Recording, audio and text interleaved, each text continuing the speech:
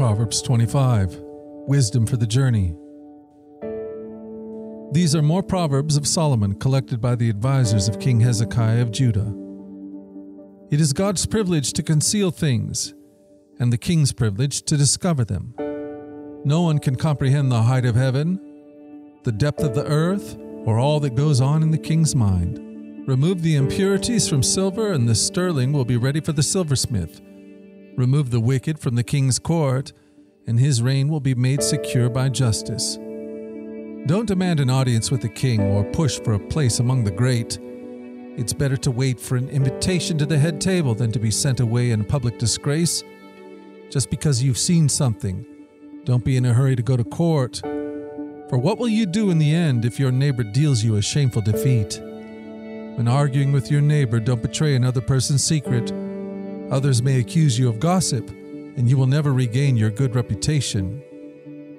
Timely advice is lovely, like golden apples in a silver basket. To one who listens, valid criticism is like a gold earring or other gold jewelry. Trustworthy messengers refresh like snow in summer. They revive the spirit of their employer.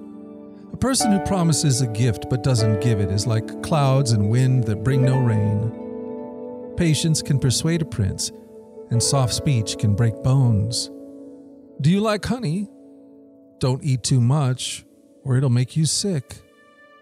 Don't visit your neighbor too often, or you will wear out your welcome. Telling lies about others is as shameful as hitting them with an axe, wounding them with a sword, or shooting them with a sharp arrow. Putting confidence in an unreliable person in times of trouble is like chewing with a broken tooth or walking on a lame foot. Singing cheerful songs to a person with a heavy heart is like taking someone's coat in cold weather or pouring vinegar in a wound. If your enemies are hungry, give them food to eat. If they are thirsty, give them water to drink. You will heap burning coals of shame on their heads, and the Lord will reward you. As surely as a north wind brings rain, so a gossiping tongue causes anger. It's better to live alone in the corner of an attic than with a quarrelsome wife in a lovely home. Good news from far away is like cold water to the thirsty. If the godly give in to the wicked, it's like polluting a fountain or muddying a spring. It's not good to eat too much honey, and it's not good to seek honors for yourself. A person without self control is like a city with broken down walls. Proverbs 25 Wisdom for the Journey. You'd like to go deeper into the Word of God, follow us at the Daily Radio Bible.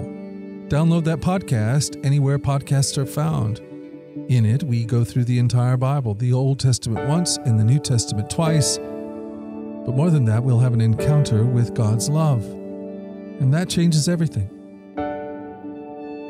Until tomorrow, let's go forward in God's joy. Let's let His joy be our strength. And let us always remember this that you are loved. No doubt about it. All right, I'll talk to you tomorrow. You take care. Bye bye.